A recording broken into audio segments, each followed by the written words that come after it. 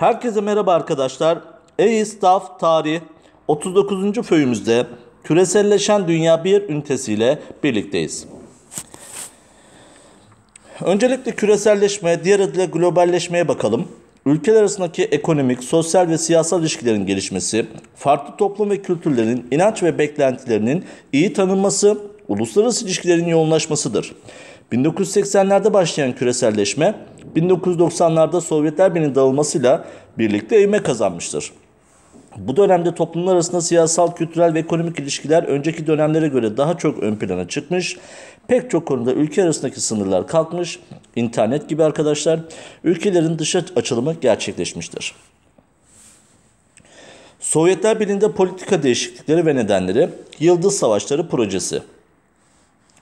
Değerli arkadaşlar, Sovyetler Birliği ve ABD Soğuk Savaş döneminden itibaren bütçelerinin önemli bir kısmını uzun menzilli silah teknolojisine ayırmış, nükleer silahların geliştirilmesi için büyük çaba harcamışlardır.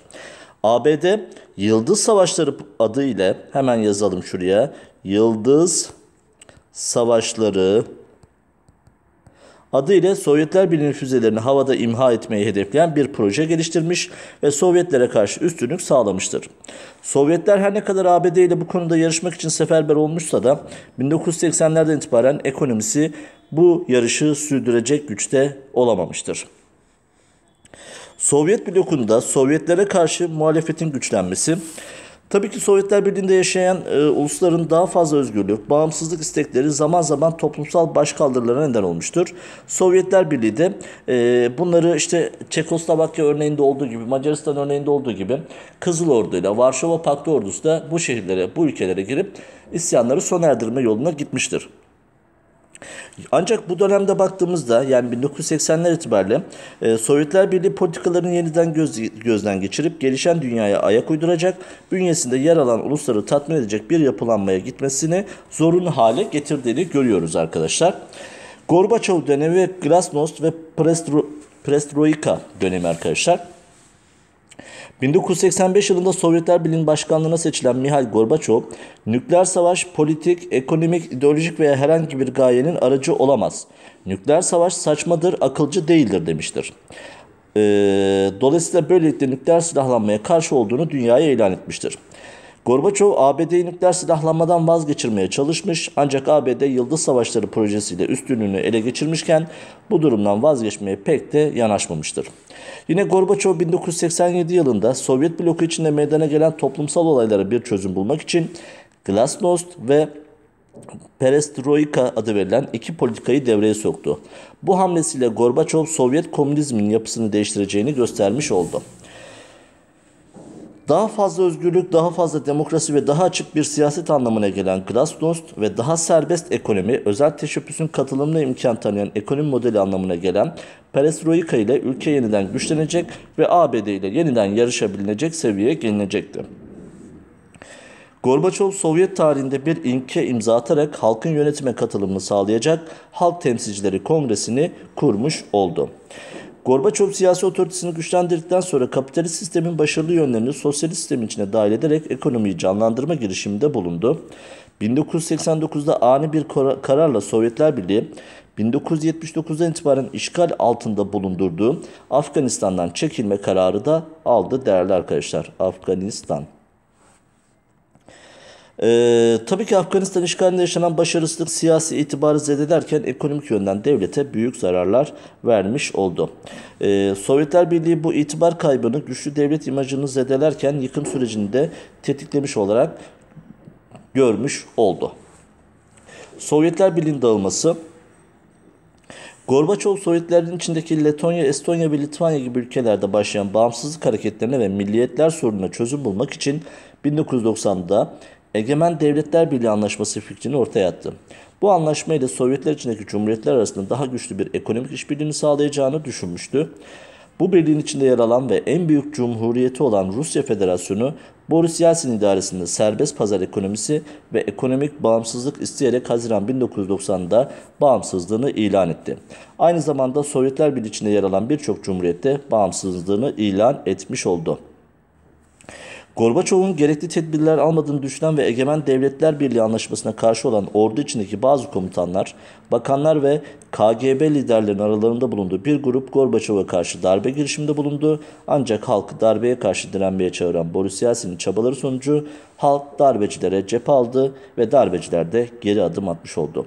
Yaşanan bu durumlar sonucunda Sovyetler Birliği'ne bağlı cumhuriyetlerin tamamı bağımsızlığını ilan etti.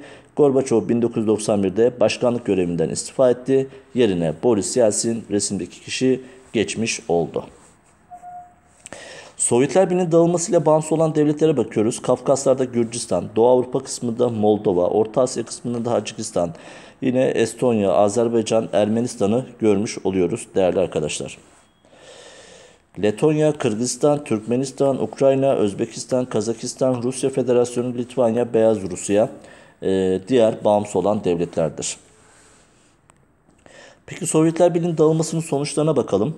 Gorbaçov'un her ulus istediği kalkınma yolunu seçmeli, kendi kaderini tayin etmeli ve topraklarını insan kaynaklarını istediği gibi kullanabilmeli açıklamasıyla Doğu Avrupa ülkeleri hareketle geçti.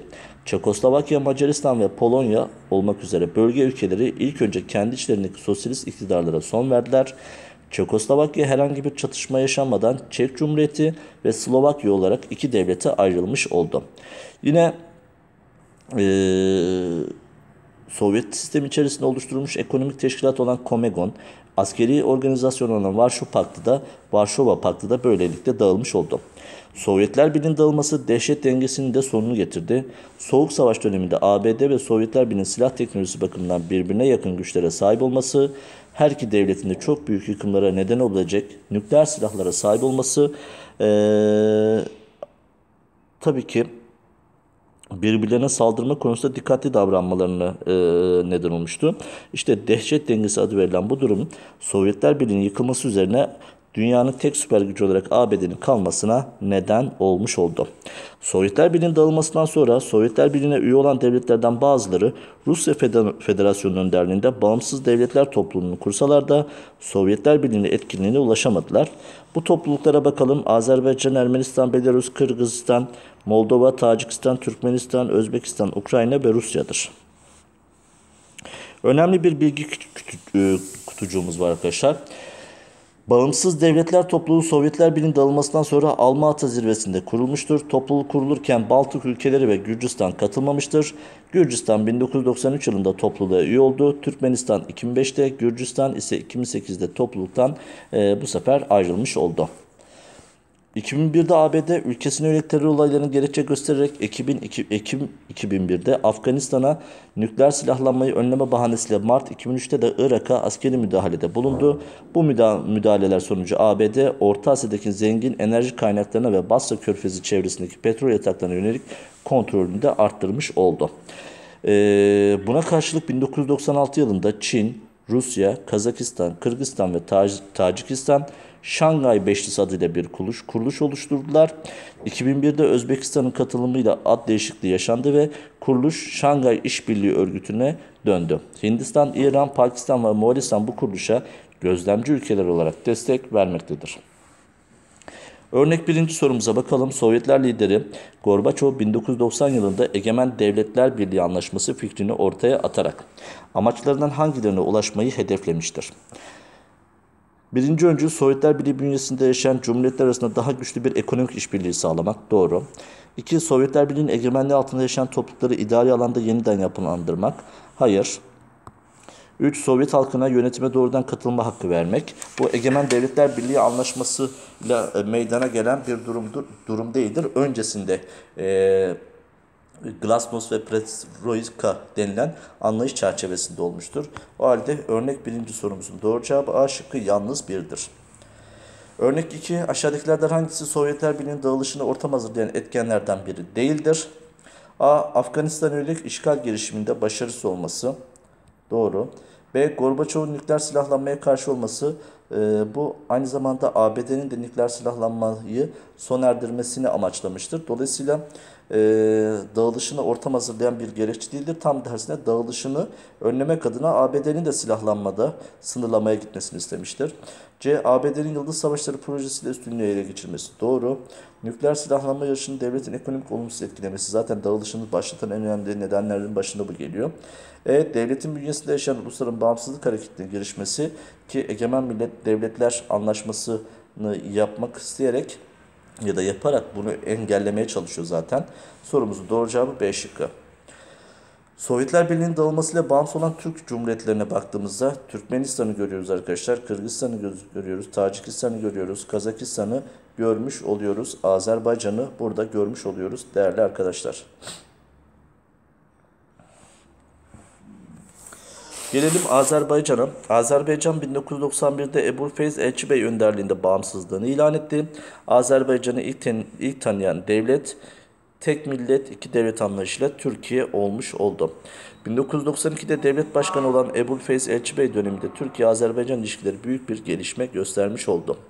93 yılında Cumhurbaşkanı Haydar Aliyev'in biz bir millet, bir millet iki devleti sözleri e, ilişkileri daha da ileri bir boyuta taşınmış oldu değerli arkadaşlar.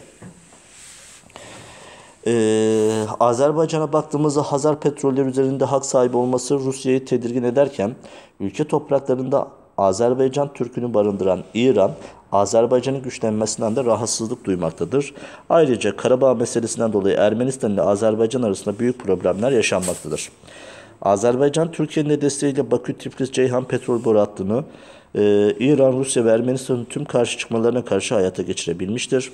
Okur yazar oranı %98 gibi çok yüksek oranlarda olan Azerbaycan, Mehmet Emin Resulzade, Bahtiyar Vahapzade gibi çok önemli yazarlar da yetişmiştir arkadaşlar. Dağlık Karabağ sorunu ve hocalık katliamı. Ee, Dağlık Karabağ denilen bölgede Azeri Türklerin yoğun olarak yaşadığı bir bölgedir. Ee, 19. yüzyıldan itibaren Karabağ Ermeniler yerleştirilmeye başlanmış. Ermenilerin bölgede hakimiyet kurmak istemesi üzerine çatışmaların yaşanması Sovyetler Birliği'nin 1923'te Dağlık Karabağ'ı özel bir statüye kavuşmasına neden olmuştur. 1985'ten sonra Sovyetler Birliği'nde yaşanan iç karışıklıklardan yararlanan Ermenistan, Karabağ'ın kendisine bağlamak isteyince Halk Cephesi önderliğinde Azeriler tepki göstermiştir. 1998 Şubat'ında çoğunluğu Ermenilerin oluşturduğu Karabağ parlamentosu Ermenistan'a katılma kararı aldı. Bu gelişme sorunu e, Ermenistan ile Azerbaycan arasında savaşa dönüştürdü.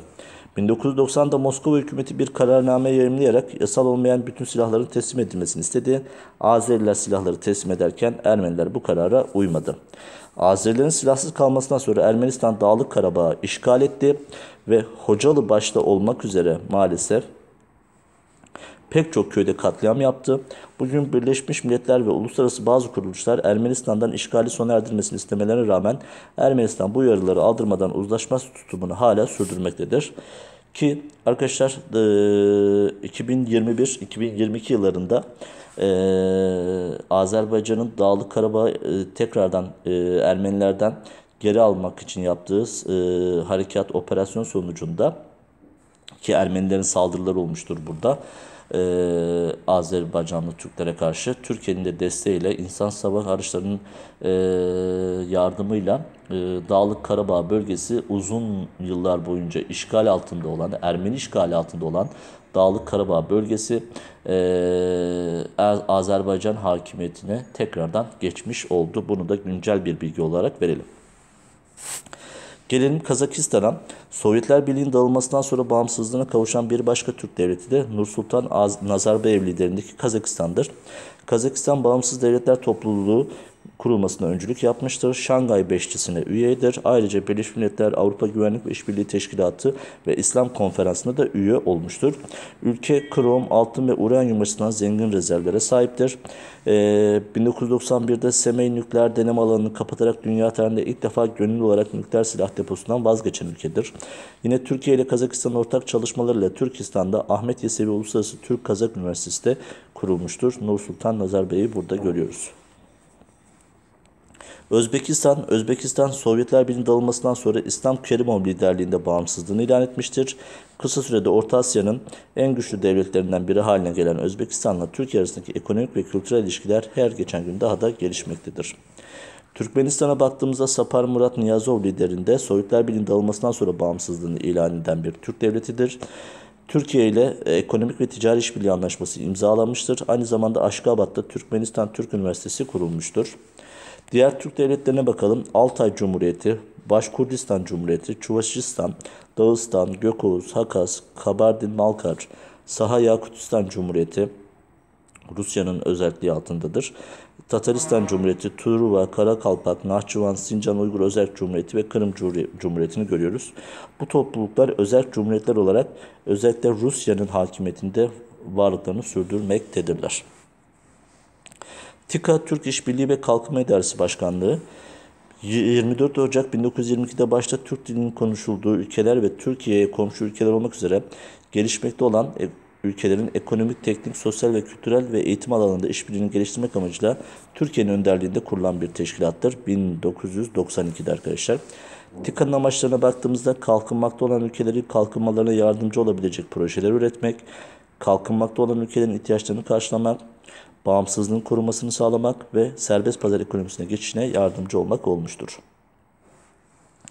Örnek 3. sorumuz 2011 LYS sınavında çıkmıştır. 19. yüzyıl başlarından itibaren Rusya tarafından Ermeni nüfusu yerleştirme politikasıyla başlayan, 1923'te Sovyetler Birliği tarafından özerk bölge statüsü verilen ve 1988'den itibaren yaşanan süreçte hocalık katliamının da yapıldığı Dağlık Karabağ aşağıdaki ülkelerin hangileri arasında çatışma ve tartışma konusu olmaya devam etmektedir.